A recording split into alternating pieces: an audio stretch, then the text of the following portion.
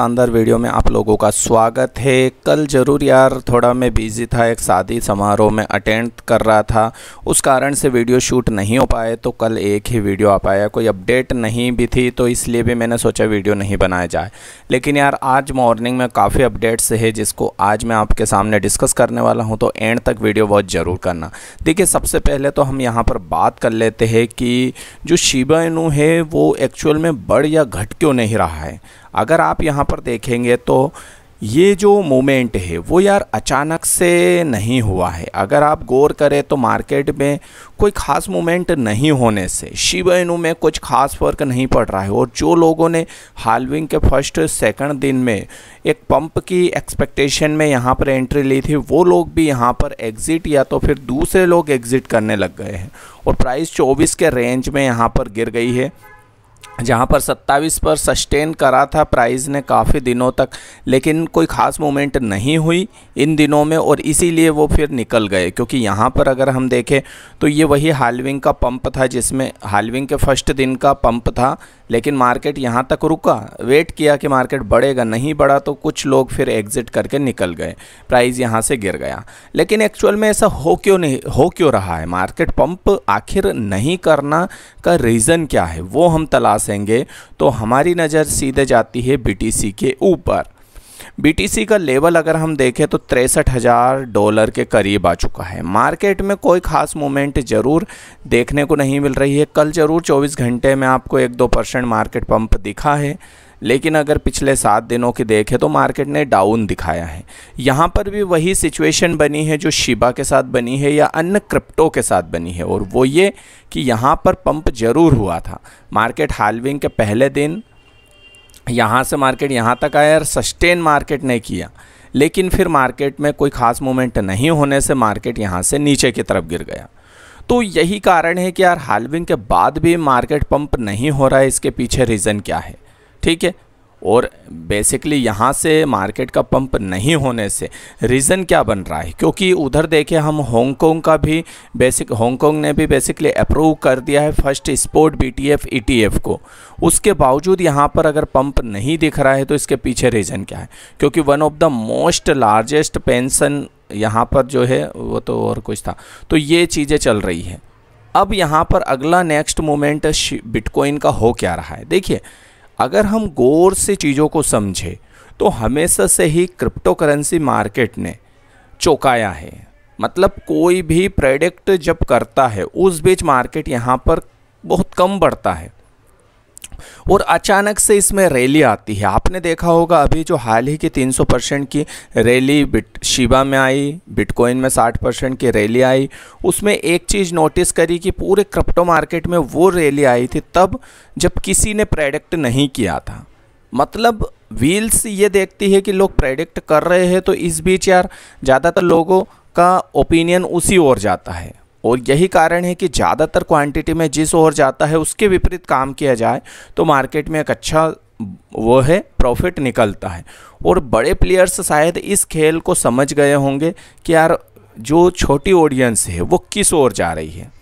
छोटी ऑडियंस से मतलब छोटे ट्रेडर क्रिप्टो के, वो जिस ओर जा रहे हैं, वही मोमेंट खास हो जाता है। और यही कारण हम नोटिस कर रहे हैं कुछ दिनों से कि ये व्हील्स उसी हिसाब से आगे की तरफ़ बढ़ रही है, उसी हिसाब से नीचे की तरफ़ जा रही है और हम इसी कारण से कोई ख़ास मोमेंट नहीं देख रहे। अब मार्केट अगर इस रेंज से ऊपर नीचे जाता है तो ये व्हील्स की ही चाल की तरफ़ से होगा। तो कहने का मतलब सिंपल सा है कि मार्केट कब रैली ले ले, कब अचानक से पंप हो जाए, बहुत प्रेडिक्ट करना आज के टाइम पे बहुत कठिन हो चुका है। तो इसका सबसे सटीक विश्लेषण, सटीक यही है कि आपको शिबा में अपनी होल्डिंग लेके बैठना है। ज़्यादातर ट्रेडर शिबा में होल्ड इज़ गोल्ड के साथ आगे बढ़ रहे हैं। कौन कौन ऐसे लोग हैं, कमेंट्स में एक बार ज़रूर ओपिनियन लिखे जो होल्ड इज़ गोल्ड के साथ आगे बढ़ रहे हैं। एक बार होल्ड कर लिया, एक बार बाइंग कर ली, होल्ड कर लिया, आप भूल जाइए। मार्केट ऊपर जाए, नीचे जाए, कोई मतलब नहीं है, क्योंकि ये जो रैली आएगी ना, ये अचानक से आएगी। और मैंने कई बुल रन देखे हैं 2021 में भी एक चीज़ नोटिस करी थी।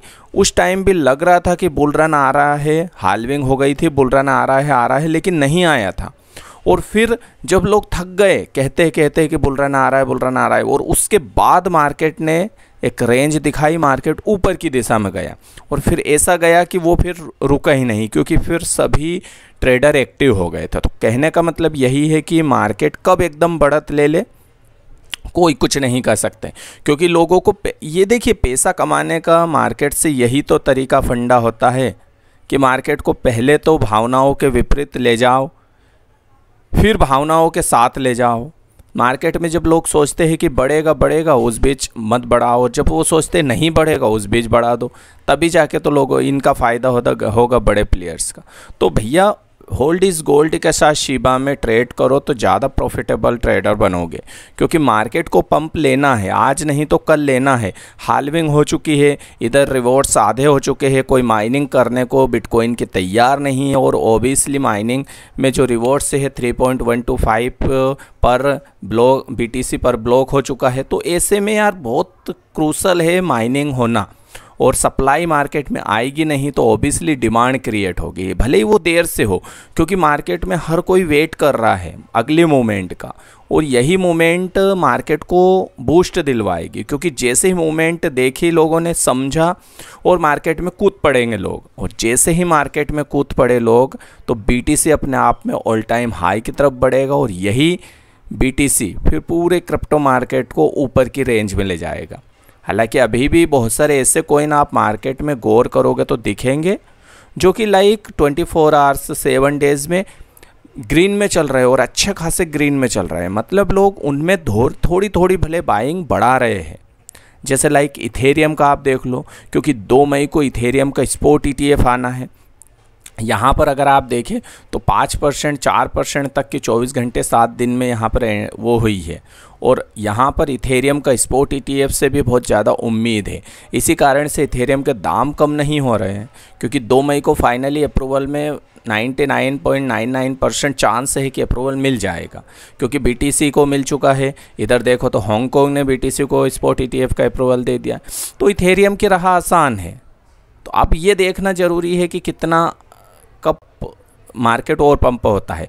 तो जैसे इसी टाइप से बी देख लो आप, और अगर नीचे जाओगे तो कुछ कोइन को छोड़ के बाकी सब कुछ ना कुछ ग्रीन में चल रहे हैं।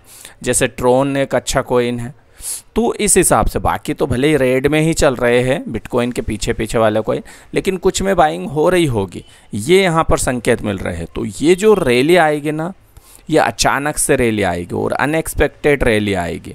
तो तैयारी करके बैठो होल्ड गोल्ड के साथ मस्त रहो, क्योंकि टेंशन रहेगा नहीं कि यार मार्केट किस ओर जा रहा है, कहाँ जा रहा है, कहाँ नहीं जा रहा है तो टेंशन नहीं। हाँ टेंशन उन लोगों के लिए है जो short term buying short term selling करते हैं। वो लोग यहाँ पर भले ही, देखिए क्रिप्टो मार्केट से short term rally short term buying के विषय में मैं ज़्यादा नहीं सोचता, क्योंकि ये एक बड़े ही कॉम्प्लिकेटेड काम है। क्रिप्टो मार्केट कब गिर जाए, रातम रात किसी को पता नहीं है। कहीं यहाँ कोई स्टॉप लॉस का तो काम है नहीं। तो यहाँ तो हीरो का खेल है। या तो हीरो बनोगे या फिर ज़ीरो बनोगे। तो ये बहुत रिस्की मामला है। आपको अच्छे कोइन में लॉन्ग टर्म के लिए लगाना है तो शीबा मीम टोकन इनमें बढ़िया है। एक बार बिटकॉइन बढ़ जाए, सब कुछ ठीक हो जाएगा यार वेट करिए, सब कुछ नॉर्मल सब कुछ अच्छा होने वाला है। तो आई होप यार यही स्थिति थी कि रैली है तो अचानक इससे ही आएगी, आपको घबराना नहीं है पैनिक नहीं होना, कभी भी रैली आ सकती है। और ये रैली ज़्यादातर लोगों के प्रोडक्ट के विपरीत आती है। कई बार। ये भी हमने देखा है तो उसके लिए भी आपको पेपर तैयार रहना चाहिए, ताकि उस चीज़ को हम छोड़े नहीं। तो आई होप यार वीडियो इन्जॉय किया होगा। मिलते हैं किसी नए इंटरेस्टिंग वीडियो में, तब तक के लिए नमस्कार।